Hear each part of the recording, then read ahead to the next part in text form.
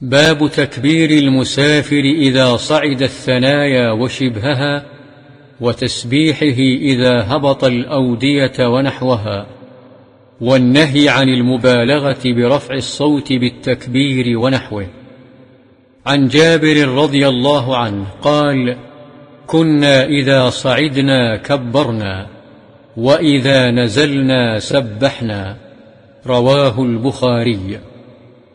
وعن ابن عمر رضي الله عنهما قال كان النبي صلى الله عليه وسلم وجيوشه إذا علوا الثنايا كبروا وإذا هبطوا سبحوا. رواه أبو داود بإسناد صحيح. وعنه رضي الله عنه قال كان النبي صلى الله عليه وسلم إذا قفل من الحج أو العمرة كلما أوفى على ثنية أو فدفد كبر ثلاثا ثم قال لا إله إلا الله وحده لا شريك له له الملك وله الحمد وهو على كل شيء قدير آيبون تائبون عابدون ساجدون لربنا حامدون صدق الله وعده. ونصر عبده وهزم الأحزاب وحده متفق عليه. وفي رواية لمسلم إذا قفل من الجيوش أو السرايا أو الحج أو العمرة. قوله أوفى أي ارتفع وقوله فدفد هو بفتح الفاءين بينهما دال مهملة ساكنة وآخره دال أخرى.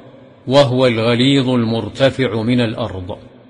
وعن أبي هريرة رضي الله عنه أن رجلا قال يا رسول الله إني أريد أن أسافر فأوصني. قال عليك بتقوى الله والتكبير على كل شرف. فلما ولى الرجل قال اللهم اطوي له البعد وهون عليه السفر. رواه الترمذي وقال حديث حسن. وعن أبي موسى الأشعري رضي الله عنه قال كنا مع النبي صلى الله عليه وسلم في سفر فكنا إذا أشرفنا على واد هللنا وكبرنا وارتفعت أصواتنا فقال النبي صلى الله عليه وسلم يا أيها الناس اربعوا على أنفسكم فإنكم لا تدعون أصم ولا غائبا إنه معكم إنه سميع قريب. متفق عليه. اربعوا بفتح الباء الموحدة أي ارفقوا بأنفسكم.